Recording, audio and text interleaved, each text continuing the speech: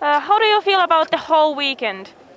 Uh, yeah, it was uh, pretty strange with all the um, hygienic uh, standards, uh, but uh, we're really happy that Ruka um, let us uh, compete here on this weekend.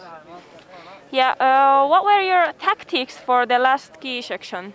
Uh, I tried to, to start pretty fast that I could uh, close the gap to, to Manuel and Jens. Uh, yeah, and uh, the first two laps were pretty fast, and then I tried to recover a bit in the third lap, but um, Jens was a bit too strong in the in the sprint finish.